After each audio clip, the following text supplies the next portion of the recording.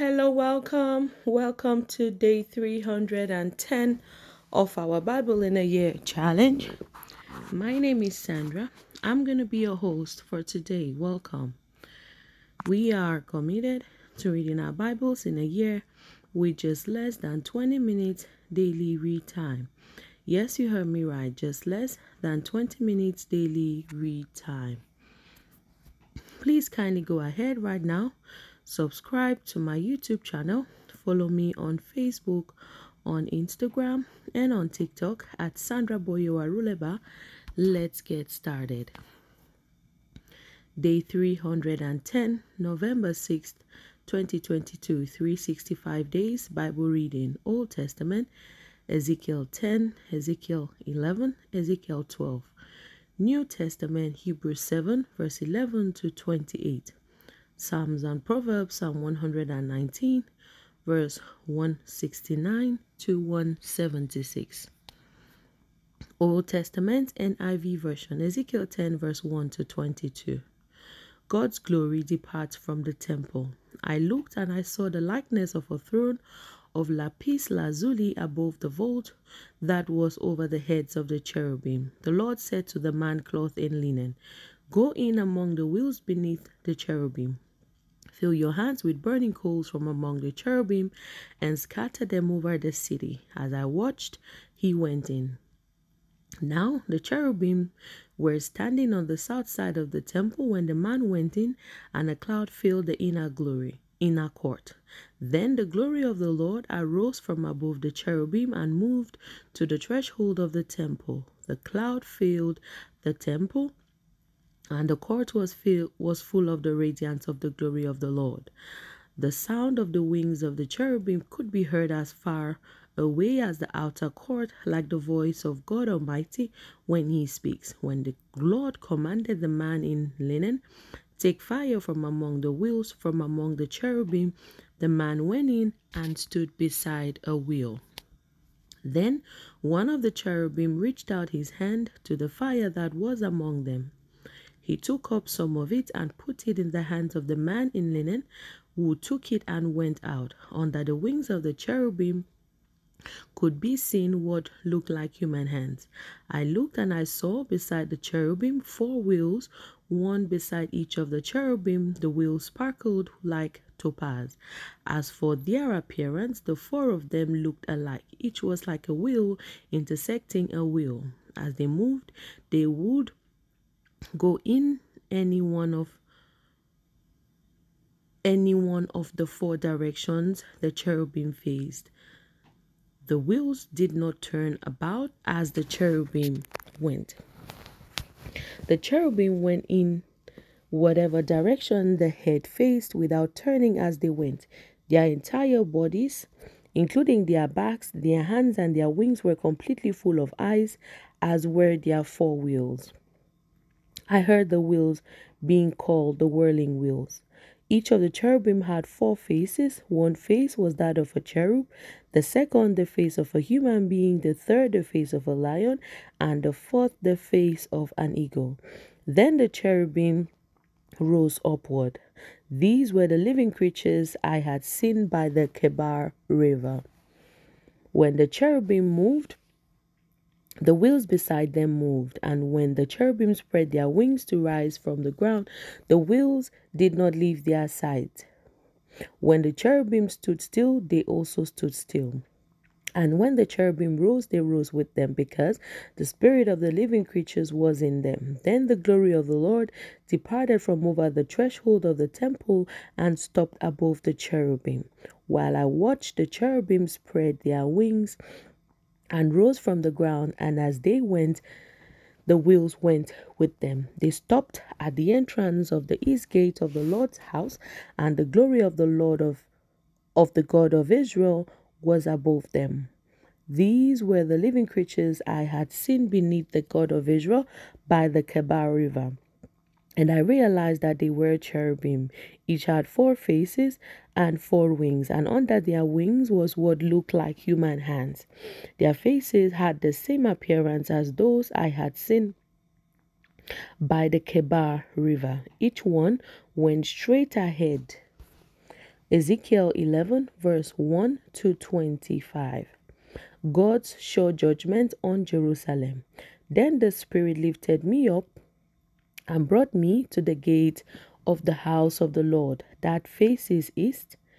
There, at the entrance of the gate, were twenty five men, and I saw among them Jan Zaniah, son of Azzur, and Pelatiah, son of Benaiah, leaders of the people. The Lord said to me, Son of man, these are the men who are plotting evil and giving wicked advice in this city. They say, Haven't our houses been recently rebuilt? The city is a pot and we are the meat in it. Therefore prophesy against them. Prophesy, Son of Man. Then the Spirit of the Lord came on me, and he told me to say, This is what the Lord says. This is what you are saying, you leaders in Israel. But I know what is going through your mind. You have killed many people in this city and fill its streets with the dead. Therefore, this is what the sovereign Lord says the bodies you have thrown there are the meat, and this city is the pot, but I will drive you out of it. You fear the sword, and the sword is what I will bring against you, declares the sovereign Lord. I will drive you out of the city and deliver you into the hands of the foreigners and inflict punishment on you. You will fall by the sword, and I will execute judgment on you at the borders of Israel. Then you will know that I am the Lord. This city will not be a pot for you, nor will you be the meat in it. I will execute judgment on you at the borders of Israel, and you will know that I am the Lord. For you have not followed my decrees or kept my laws, but have conformed to the standards of the nations around you. Now, as I was prophesying, Pelatiah, son of Benaiah, died. Then I fell face down and cried out in a loud voice, Alas, sovereign Lord, will you completely destroy the remnant of Israel? The promise of Israel's return. The word of the Lord came to me Son of man, the people of Jerusalem have said of your fellow exiles, and all the other Israelites. They are far away from the Lord. This land was given to us as our possession. Therefore, say, This is what the sovereign Lord says Although I sent them far away among the nations and scattered them among the countries, yet for a while, a little while, I have been a sanctuary. I have been a sanctuary for them in the countries where they have gone. Therefore, say, This is what the sovereign Lord says. I will gather you from the nations and bring you back from the countries where you have been scattered, and I will give you back the land of Israel again. They will return to it and remove all its vile images and detestable idols. I will give them an undivided heart and put a new spirit in them. I will remove from them their heart of stone and give them a heart of flesh. Then they will follow my decrees and be careful to keep my laws. They will be my people and I will be their God. But as for those whose hearts are devoted to their vile images and detestable idols, I will bring down on their own heads what they have done, declares the sovereign Lord. Then the cherubim with the wheels beside them spread their wings, and the glory of the God of Israel was above them. The glory of the Lord went up from the city and stopped above the mountain east of it. The Spirit lifted me up and brought me to the exiles in Babylonia in the vision given by the Spirit of God. Then the vision I had seen went up from me, and I told the exiles everything the Lord had shown me. Ezekiel 12, verse 1 to 28. The exile symbolized.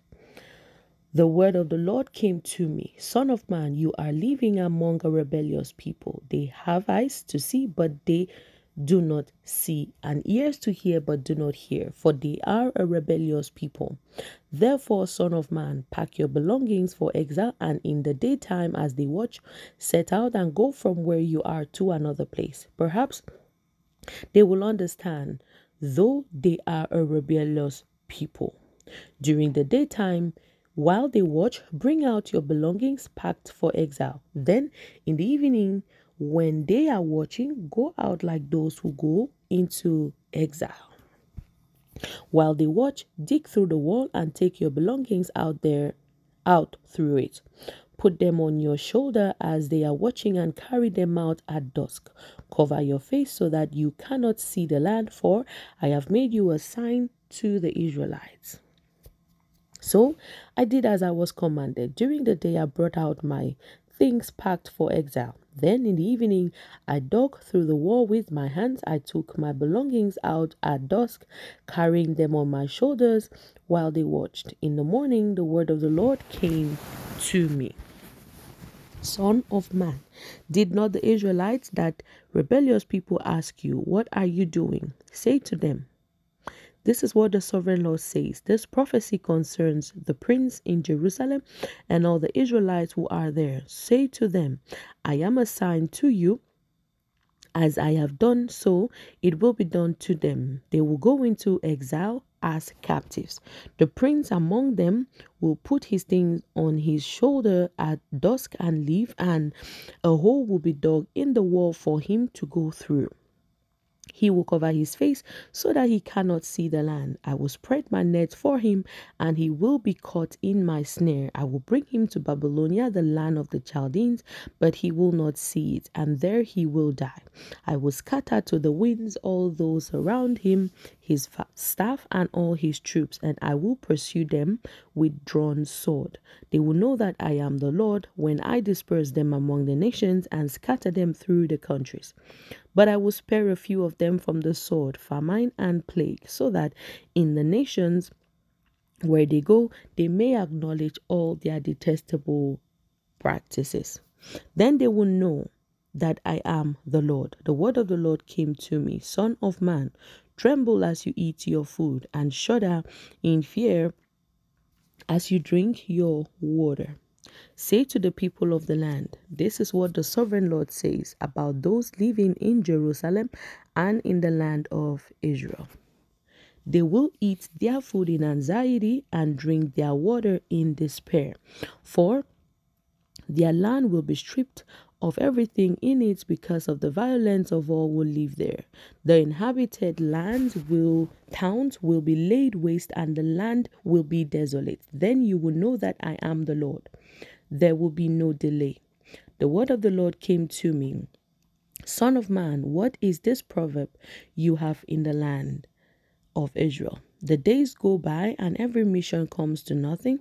Say to them, This is what the sovereign Lord says I am going to put an end to this proverb, and they will no longer quote it in Israel. Say to them, The days are near when every vision will be fulfilled, for there will be no more false visions or flattering divinations among the people of Israel. But I, the Lord, will speak what I will, and it shall be fulfilled without delay. For in your days, you rebellious people, I will fulfill whatever I say, declares the sovereign Lord. The word of the Lord came to me, Son of man, the Israelites are saying, the vision he sees is for many years from now, and he prophesies about the distant future. Therefore, say to them, This is what the sovereign Lord says None of my words will be delayed any longer. Whatever I say, I will Whatever I say will be fulfilled, declares the sovereign Lord. New Testament NIV version, Hebrews 7, verse 11 to 28. Jesus like Melchizedek. If perfection could have been attained through the Levitical priesthood, and indeed the law given to the people established that priesthood, why was there still need for another priest to come, one in the order of Melchizedek, not in the order of Aaron?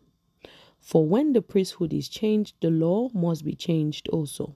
He of whom these things are said belonged to a different tribe, and no one from that tribe has ever served at the altar. For it is clear that our Lord descended from Judah, and in regard to that tribe, Moses said nothing about priests. And what we have said is even more clear if another priest like Melchizedek appears, one who has become a priest not on the basis of a regulation as to his ancestry, but on the basis of the power of an indestructible life. For it is declared, You are a priest forever in the order of Melchizedek. The former regulation is set aside because it was weak and useless, for the law made nothing perfect. And a better hope is introduced by which we draw near to God. Hallelujah. And it was not without an oath.